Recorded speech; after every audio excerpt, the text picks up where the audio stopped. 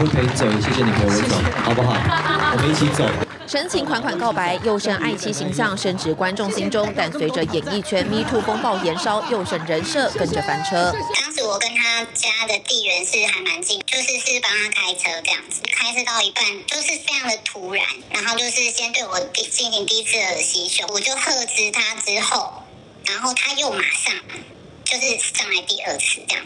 受害者回忆，事发当下，佑胜在车中二度伸出狼爪，直到被害女子大声呵斥才停手。隔天传简讯道歉，说自己喝醉了，但受害者可不止一人。就突然的双手就是环抱在我的胸上，没有办法做任何太大的反应。过没多久，他就我就看到他把手上的手机放在我的眼前，在我的身后也跟着我一样跪下来，然后双手一样就是从后面抱我。另一名受害者在会议室遭佑胜二度环抱，事后不但没道歉，还留下这句话。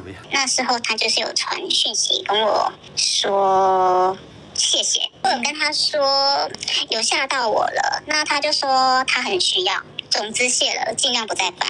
第三名受害者则是女摄影，佑胜曾经以借厕所为由进到家中，没想到竟直接跨坐在对方腿上强吻，更强行伸舌头舔耳朵，吓得对方完全愣住，甚至还把手伸进被害人衣服里。最后在软性劝阻下才没得逞，但还能洗洗脑脑离开。面对被害人出面指证，佑胜十八号下午发文道歉，说自己曾经的行为造成伤害和阴影，感到抱歉。面对曾经犯过的错，不会逃避。还连说两次对不起。我后来又知道还有其他受害者之后，包括他的什么粉钻，我都是几乎都退赞，然后也跟身边的朋友就是讲说，就是可以这个人可以退赞。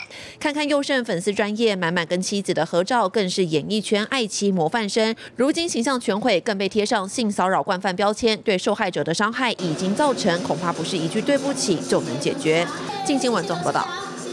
立刻下载《静新闻》App，一手掌握新闻时事，尽善尽美，尽好新闻。